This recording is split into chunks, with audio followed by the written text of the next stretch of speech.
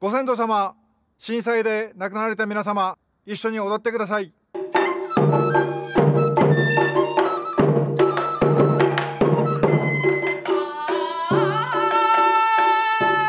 震災から4年経っても避難先で生活を送る双葉の人々。先祖代々守り続けてきた伝統が失われようとしていた。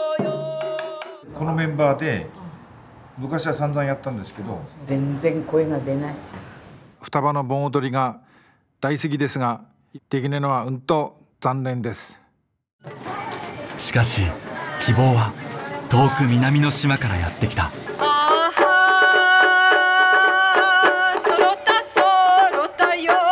Bon dance was only Fukushima Ondo. I often heard that it was for many hours.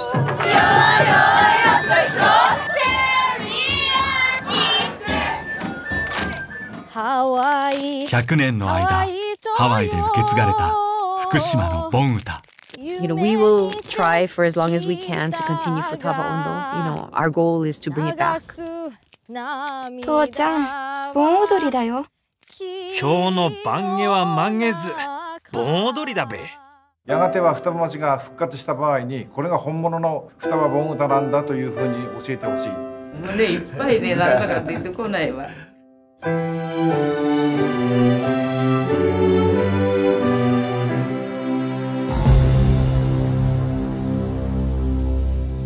福島ハワイそして富山へと映画が旅をする。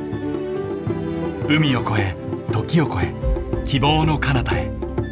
盆歌は響き続ける。